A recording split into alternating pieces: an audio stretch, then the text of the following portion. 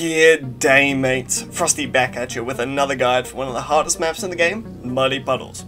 Our boy Quincy is going to be taking the lead role today, so strap yourselves in and let's get stuck into it. A Quincy start on the left side here. It's super precise if you don't want to micro, but with a small amount of effort you can clear every round, no problem. Start Quincy on strong, then back to first after you clear the first few greens. You'll then move him to last at the start of round 7, and again back to first after the green wave. Here's the tricky bit. You're going to place the dart in as tight to the top of this gap. It might take a few tries to get it lined up properly, but when you know, it's quite easy. Set it to last. The sub is a lot easier. Use the vision range to get in the right spot. Come round 10, place the dart with the eyes in the middle of the sub's hat. It's the best visual explanation I can give. It will be set to last, and both the sub and the dart will be set to strong. Again, this round is tricky, so don't get too frustrated if you get it wrong. It's the toughest part of the run, I swear. During the large wave of blues at the end of round 10, switch your top dart to first, then place a dart down bottom on the right tyre track. If everything goes according to plan, you should clutch it out. Back to simple instructions for now. On round 12, rapid fire the yellow balloons. Place the sniper on strong up here before round 13. Before round 14, place the sub so that the sight lines are in the middle of the left lane. You shouldn't need to ability this wave, but you can anyway if needed. On round 15, you want to put a second sniper down on strong down here in the middle of the round. If you're really fast, you won't need to micro it terribly much. Same idea with round 16. Just be careful and be ready to switch to first if needed. Upgrade your middle sub to advanced intel, then rapid fire the last wave of greens for round 18. Round 19, be prepared to micro the bottom sniper. You won't need to sometimes, but you can't always be sure. Sniper timing is very funny. Upgrade your sub to twin guns, then after round 20 place a dart monkey for vision up top. Upgrade your top sniper to 100 and prepare to micro for 22 and 23. Again, sometimes you won't, sometimes you will, just get lucky If you make it past this point, congratulations, this map is nowhere near as tough. First order of business, rapid fire the purples on round 25. Upgrade your sub to airburst darts. Grab a druid with vision of both lanes here. Upgrade it to a druid of the jungle over the next few rounds.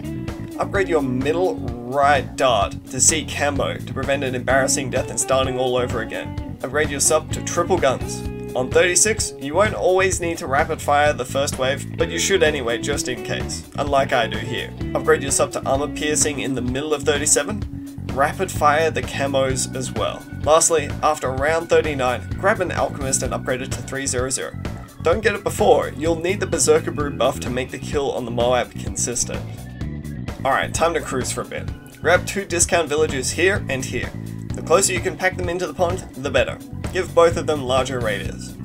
Get another sub and place it as close to the first sub as possible and upgrade it to a 203. Do not worry about optimizing your village discounts, the more subs you can fit in, the better. Grab one more sub next to that sub and upgrade this one to a 220. Lastly, grab jungle drums on the close village and upgrade your alchemist to a 420. Chill for a few rounds, then plug yourself back in for round 55 where you'll arrow storm the 4th ceramic wave. It's the big one, you can't miss it. Or you'll lose, so uh, don't do that. Now we're smooth sailing all the way up to round 63.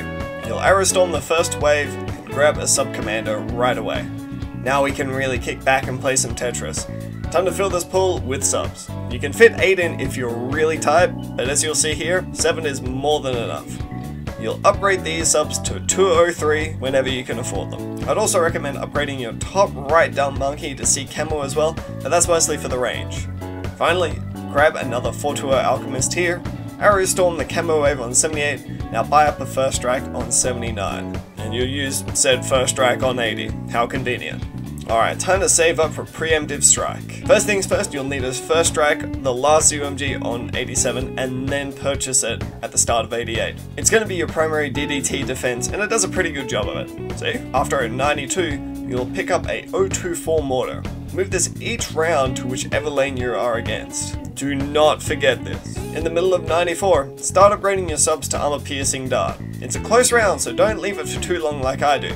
You'll first strike the second ZOMG, don't buy this ninja, no, don't do that. You'll arrow storm the last bunch here and really make sure you do not buy this ninja yet. Do just buy armor piercing darts, come on man. After 96, finalize upgrading all your subs to armor piercing and first strike the second ZOMG on 97. Now you'll buy a sabotage. 98 is a bit of a doozy. Rapid shot once the ZOMGs start to round the first curve, then arrow storms when the BFBs are about to start going around the second curve. Try to make sure that the BFBs do not make it around that curve, otherwise it's making it a lot harder for yourself. Grab a 401 eyes and sabotage on round 99. Before round hundo, grab an overdrive and whatever else your money can afford. You should watch for the damage phases and try to count 3 seconds when it hits the final damage phase.